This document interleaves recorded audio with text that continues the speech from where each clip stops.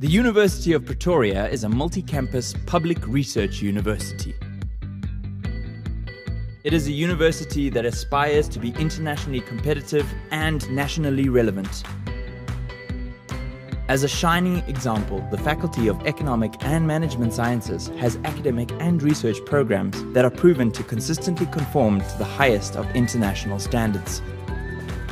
The faculty has four fields of specialization and aims to continuously strengthen its position as a leading institution in these fields through its academic and research excellence. The faculty pledges social integration and is known to be technically well rounded. But above all, the faculty strives to assure that the market value associated with its degrees will always be of a competitive benefit to its students. In a world that is becoming more competitive by the moment, it is essential that students not only gather the education and skills necessary to perform in the marketplace, they should also receive practical experience that places them in the optimal position to find and keep the right jobs. This is what the departments in the Faculty of Economic and Management Sciences offer. It is the combination of real world application by working closely with industry partners, along with the cutting edge academic expertise of the top rated and internationally recognized lecturers who have a great understanding of the expectations of global and local industries that make the difference. We strive to produce graduates that appreciate the importance of community, entrepreneurial endeavor, and innovative action. EMS graduates are a new generation of future thought leaders who will create jobs and make a positive impact nationally and internationally.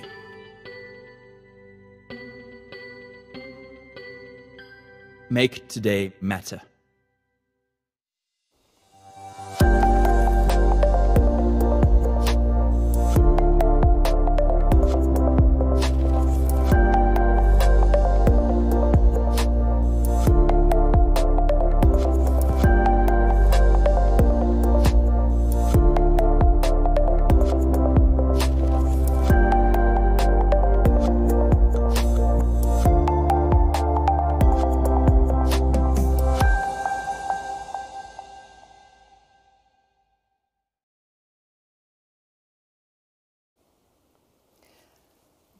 Morning. A warm welcome at the EMS celebratory event. With this event, we would like to salute all academic, professional, and support staff at the end of a very challenging year. The resilience and adaptability of our staff this year really pulled us through. We are proud that we could manage to complete the 2020 academic year.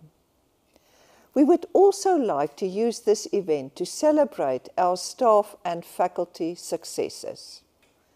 One notable success is the 100% success rate in staff promotions this year.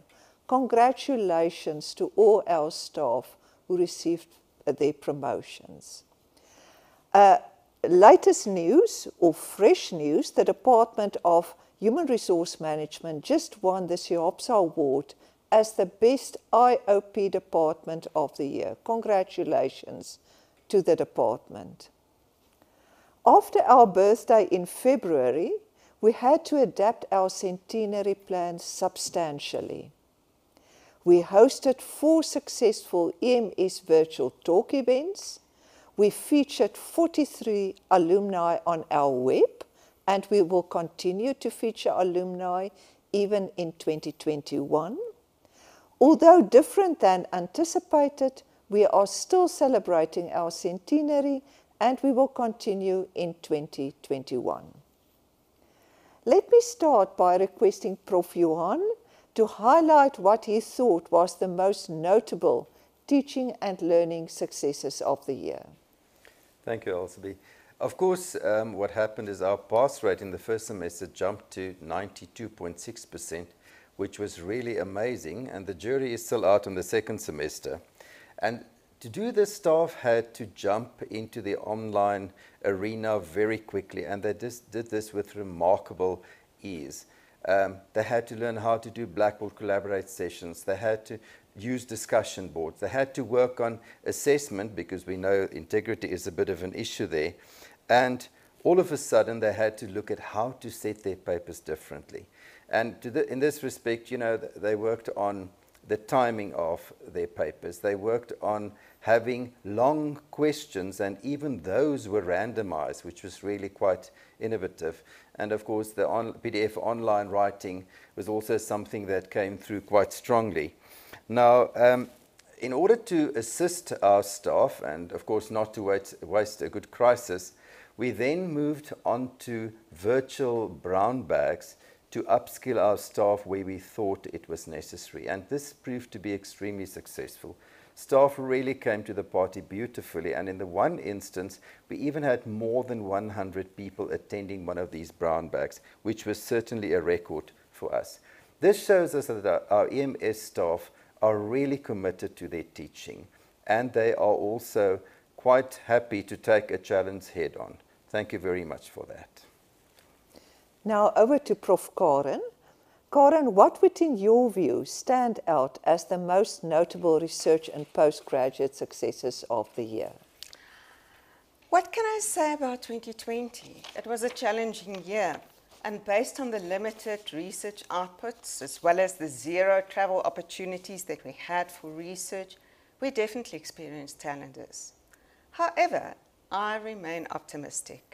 And I agree with the view of Amos Wilder, an American poet and professor in theology, who believed that at the null point, the zero breeds new algebra. In my reflection on 2020, I refer to three important milestones. First, the faculty had 32 doctoral graduates, including four staff members, and another nine staff members are very close to completing their PhD studies. Secondly, although the faculty's accredited journal articles listed for 2020 is about 50% lower than for 2019, judging by the journal rankings, the quality of these journal articles appears to be higher. And last, five research talk sessions on supervision, as well as six research talk sessions on research methods, kept the research conversation going in the faculty and it created learning opportunities for all of us. Thank you, Karen. Now, our teaching and learning successes, as well as our research successes, uh, the perceptions of employers, all contribute to, to the improvement and maintenance of our position on world ranking tables. On the QS World Rankings uh, by subject in 2020, economics again fell in the 20, 250 to 300 band, accounting and finance in the 150 to 200 band, on the Times Higher, Education World, uh, Times Higher Education World Rankings by subject, in the field of business and economics, we are in the 300 to 400 band, and that includes all our subject fields. Then uh, on the ARWU or the Shanghai rankings, again we have in finance as well as in economics 150 to 200 band position.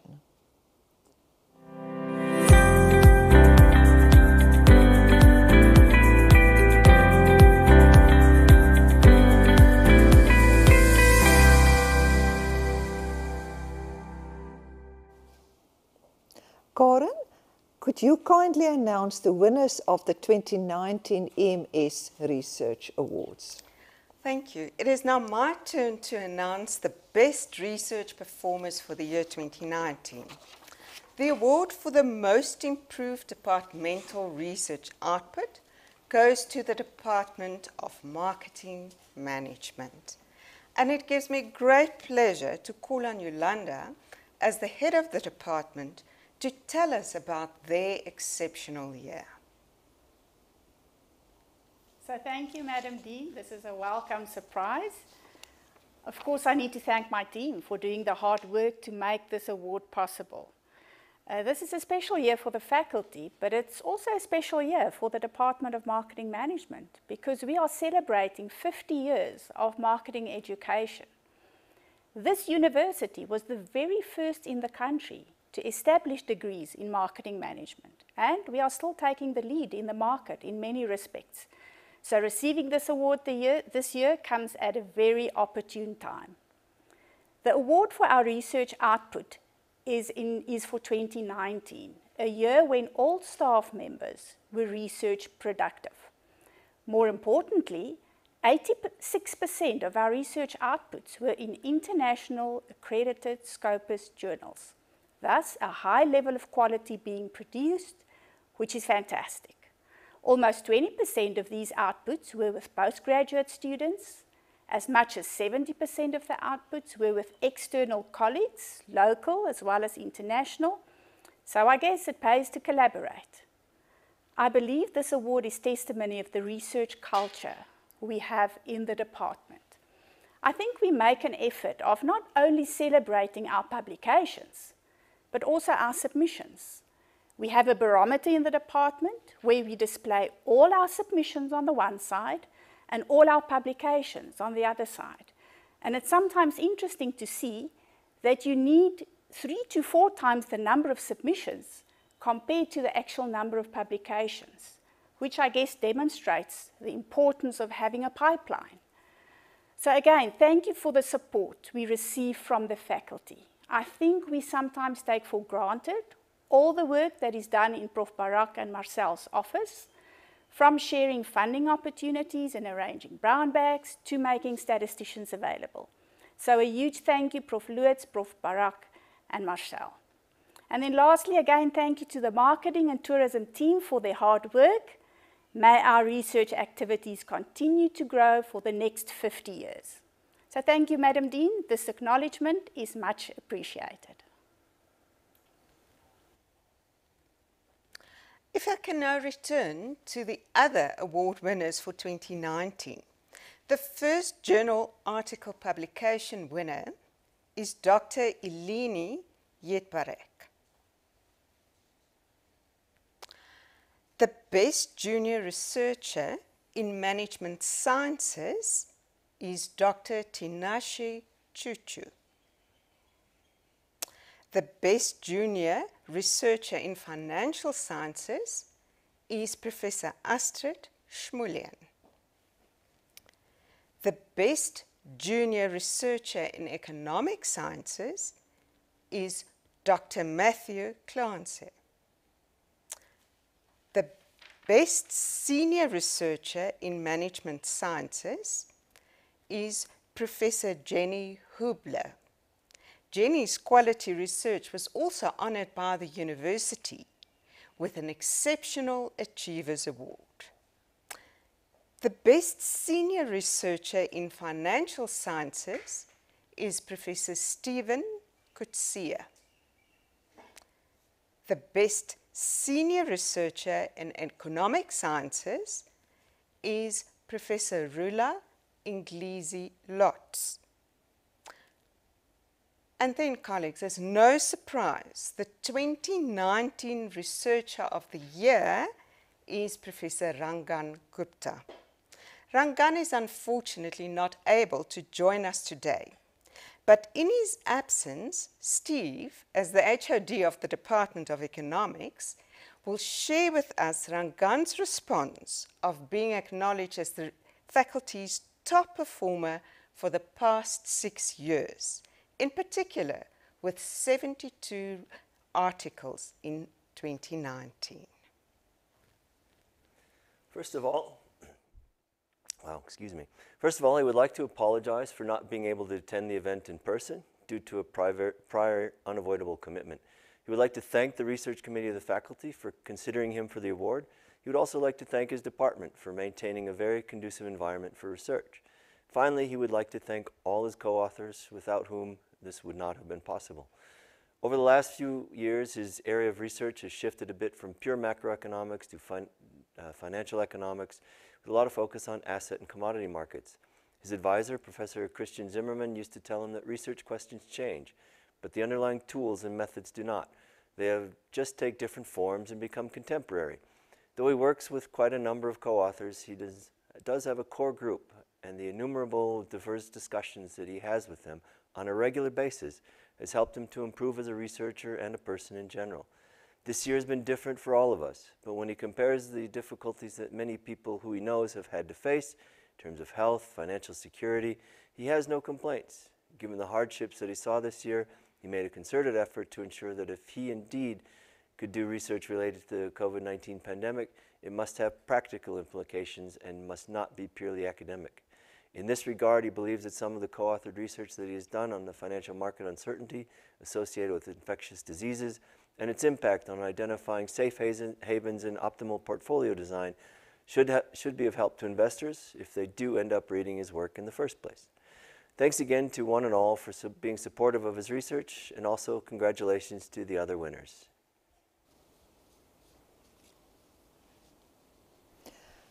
Congratulations again to all the Research Award winners. Uh, Johan, kindly announce the winners of the 2019 EMS Teaching and Learning Awards. Elsie, this will be my pleasure. Um, Remember that we don't have a specific ranking under the Teaching and Learning uh, Awards for 2019 or any other year for that matter, uh, but these are now presented alphabetically. Our first winner is Elise Kirsten of the Department of Financial Management, who had uh, an interdisciplinary project between financial management and, and, and engineering, which was really very innovative. Um, and this was done at honors level. The second group was uh, Relien Kuntz and Marina Kirsten of the Department of Auditing, who used the Zootings, Zootings um, uh, engagement tool extensively to engage students and also help them to construct their own knowledge.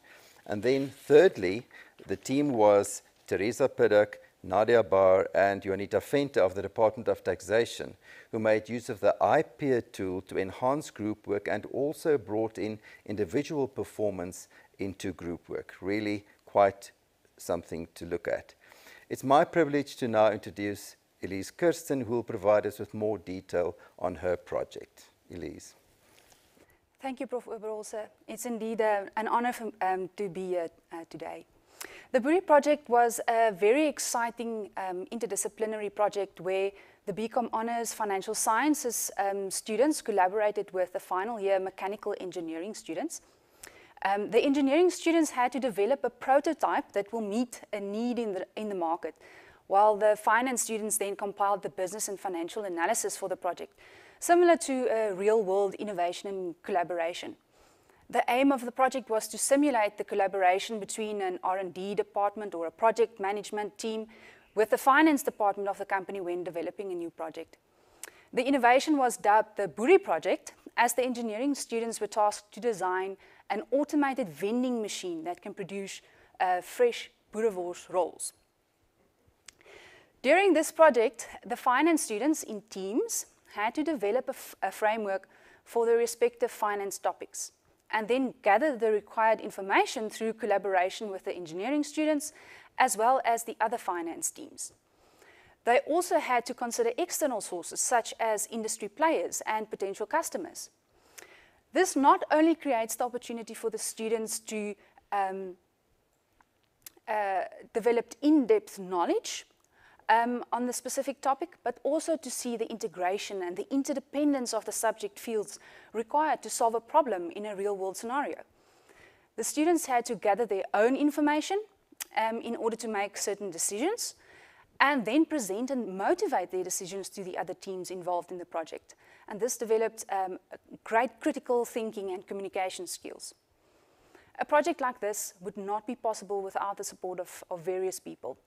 Firstly, um, I would like to thank Dr. Lucas Duplessis from the Department of Mechanical and Aeronautical Engineering for suggesting this project in the first place. Um, the Boerie project was, was his brainchild. And then he assisted a lot with uh, making the arrangements um, to get the student presentations and col collaboration sessions um, of, uh, uh, possible. I would also like to thank Dr. Duplessis for um, all his efforts to continue with a similar project this year, despite all the COVID-19 challenges. And I really hope that we can continue with this in the future and possibly um, uh, involve other departments to make um, a real difference in the world. I would also like to thank um, the, my colleagues in the Department of Financial Management for all your support and your advice, as well as my HOD, Prof. Hall. Um, your contributions always added a lot of value um, to the project. We are making notable progress in our AACSB journey. Let me just update you on two aspects. You are all probably now involved in the assurance of learning process, and we are making progress uh, uh, in, in that respect as well.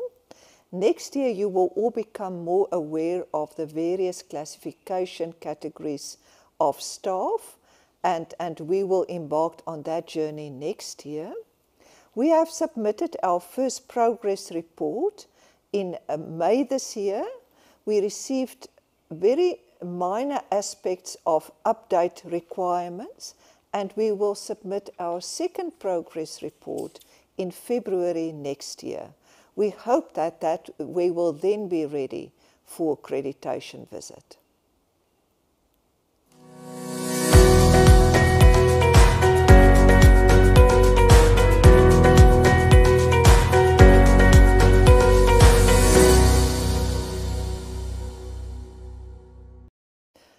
Johan, any other teaching and learning successes that you would like to highlight for us? And how do you see we're going forward into 2021? Thank you, Elsie. Um, there are three student, uh, or rather two student performances that I'd like to highlight. The first one is the EY Young Tax Professional Award, where EMS students would place second and third in South Africa in the national leg of this competition. Then um, the ITC results uh, in the SAICA professional exams for chartered accountants, their UP really had a marvelous run and our students turned out to have seven of the top 10 places out of 3,600 students who wrote this exam, which is indeed remarkable. At the same time also, um, our students were placed first in South Africa looking at the total cohort um, of students who wrote this exam. Then, uh, first for me was a virtual SAICA accreditation visit. Well, it was the first actually in the country, and it was quite stressful, but we pulled that off very well with the assistance of all the staff involved with that. Then if we look at stud student funding, the more broad-based funding, there was funding from FACET, there was funding from ISFAP, and then more focused for the CA program, specifically the Thuthuka uh, funding that was made available. That was really remarkable and assisted a lot of our students in this year. Now, for 2021, um, I foresee that we will be working with hybrid teaching and learning, perhaps even more aggressively than before. And the wonderful thing here is the fact that we do in, do in fact have much more experience with that at this stage. So we have a fairly high base from which can, we can now work and refine, refine our efforts. Um, quite important is that we need to engage with our students more. Research shows that the big problem with um, online teaching or remote teaching as we do it, as that students tend to disengage. So I really would like to encourage um, our staff members to engage more with our students on an informal matter every so often, just to keep uh, you know, them interested and to make sure that we understand also what uh, their position is and what their well-being status is at this stage. Now, um, ladies and gentlemen, I also need that, believe that we need to understand our students better. And especially in this online environment, we need to try and get closer to them. What we've then decided is that during the teaching and learning um, event that we have at the beginning of every year, I'm going to try and get somebody to talk to us about Generation Z because that's where the vast majority of our student cohort actually fits into the different generations that people talk about every so often. Also, we're going to look at some pointers on electronic marking because that tends to remove a lot of human error if one does use that, specific system. Also, we'll have to look at the enhancing of our, the integrity of our assessments. Uh, we've come a long way since the first semester of 2020. There were major improvements, I think, on integrity of students in the second semester. And since we now have the hang of it, we're going to try for even better integrity in 2021. Then, what cannot be ignored, ladies and gentlemen, also is the fact that we need to contextualize our teaching as far as possible, we possibly can because this is part of our transformation project as well and to level the playing field for our diverse student body. Thank you, Elsie. Thank you, Johan. Karen, what are your plans for your portfolio for 2021? So, Elsie, we have adjusted to the new normal, but there are three areas that will require dedicated attention in 2021. The first is trans and interdisciplinary research. The Albert Luthuli Leadership Institute, with its focus on sustainable development goals as well as leadership, provides an ideal platform for the faculty to promote trans and interdisciplinary research. And of course, we rely on the continuous quality contributions of the African Tax Institute. The second exciting development in the faculty uh, relates to the establishment of research chairs. The Department of Human Resource Management has embarked on a process to establish a chair in women's leadership, while the Department of Marketing Management is making progress in sourcing funding for a chair in customer experience management. Then, lastly or thirdly, 2021 Elsie will be a resource constraint year.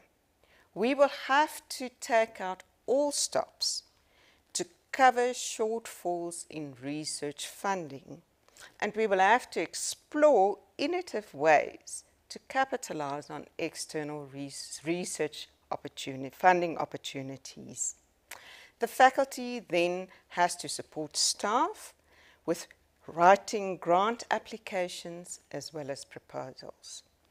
And lastly or finally, the COVID-19 health pandemic and its consequences have provided research opportunities which are already generating new knowledge and which could have a great impact on society.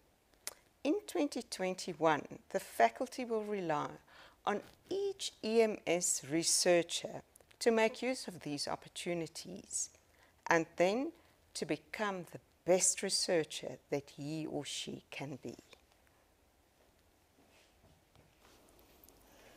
Apart from our research and teaching and learning plans for 2021, as a faculty, we remain committed to our social responsibility.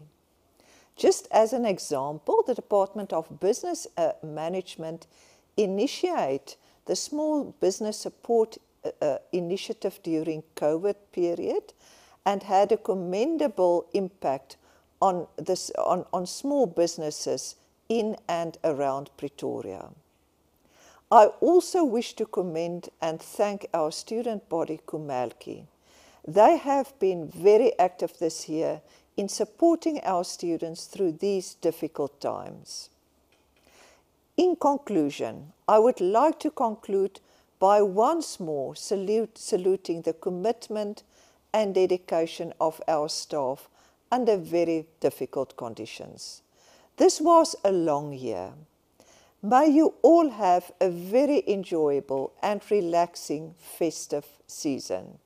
Stay healthy and safe wherever you are going.